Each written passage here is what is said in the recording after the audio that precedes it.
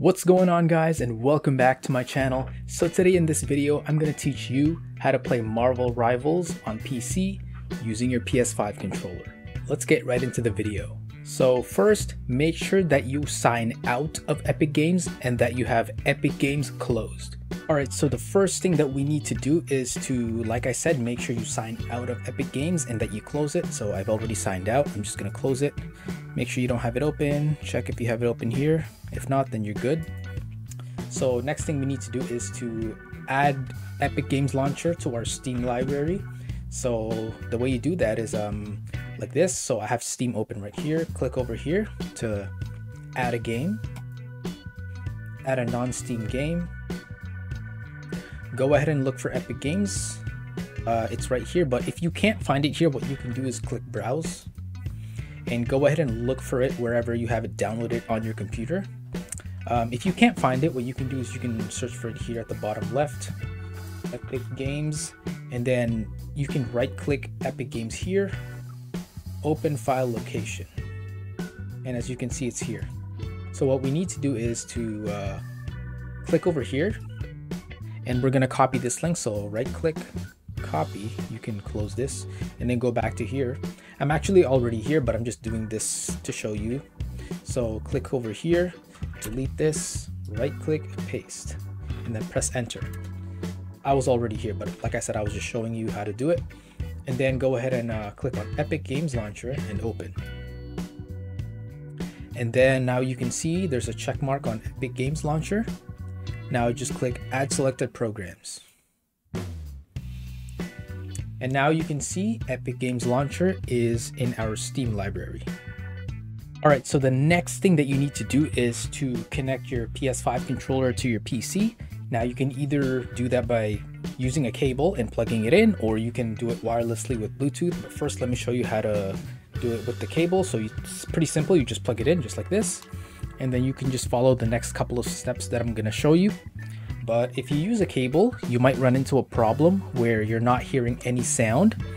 So if that happens, you can just click here to the sound icon uh, you can click here and switch this to your headphones or speakers or whatever you're using. For me, I'm going to change it to this one because I know this is my headphones. And then try to adjust the sound. And uh, there you go, it works. But if you want to do it with Bluetooth, let me show you how to do that. So let's unplug this for now. So for Bluetooth, what you're going to need to do is press and hold the home button and the share button at the same time until the controller starts blinking. So now as you can see, it's blinking. What you need to do is click over here to the search bar, search for Bluetooth, and open up Bluetooth and other devices settings. Add Bluetooth or other device, Bluetooth, and wireless controller should show up here. So let's go ahead and click this. And there you go. It says your device is ready to go. So let's click done. All right. So the next step is to open up big picture mode on steam. So how you do that is click over here enter big picture mode and then now you can see uh, you can use your controller from here on. So let's go ahead and search for go to the top and search for epic games launcher. And as you can see it's right here the very first one. And let's go ahead and open it up. And then you can go ahead and sign in with your email and password.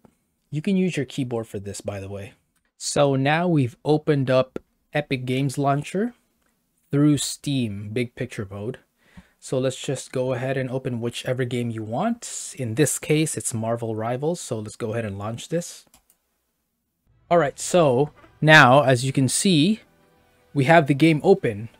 And uh, right here, as you can see, I can use my controller now. And let's go ahead and play. And let's just go to practice range.